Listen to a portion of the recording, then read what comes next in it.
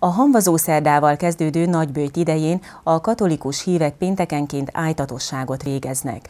Jézus keresztút alatt átélt szenvedéseire múlt pénteken fiatal házasok emlékeztek a Szent László római katolikus templomban. Jézust halára ítélik. Ez az első Jézus keresztútjának 14 állomása közül. Krisztus szenvedés történetét fiatal házasok elevenítették fel március 1-én. A templomi keresztutat nagybőjt idején minden pénteken végzik a Szent László római katolikus templomban.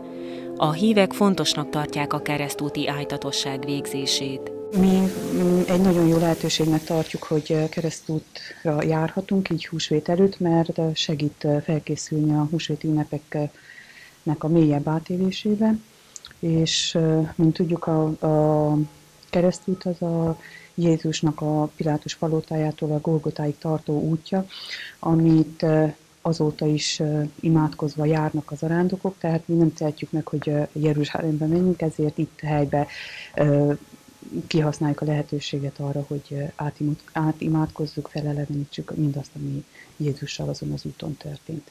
A keresztút Jézus szenvedés történetének az összefoglalása. Miután Pilátus halára ítélte Krisztust, átadta a zsidó hatóságoknak, és ezzel elkezdődött Jézus keresztútja a helytartó udvarából. Jézus körülbelül 7-800 méteren keresztül vitte keresztjét a Golgotára. Nagybőjtben, húsvét előtt, különösen is az emlékezetünkbe idézzük Jézus halálának a napján, pénteken, azért, hogy lássuk, szenvedésében és halálában mit tett értünk.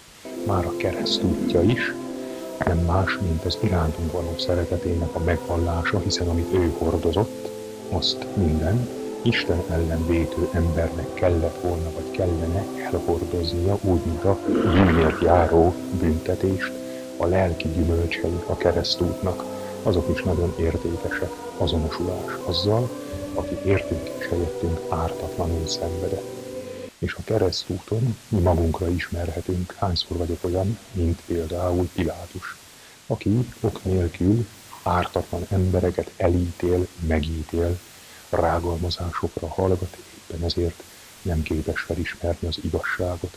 A Szent László templomban a fiatal házasok olvasmányokkal, énekkel és közös imával emlékeztek meg Jézus szenvedés történetéről.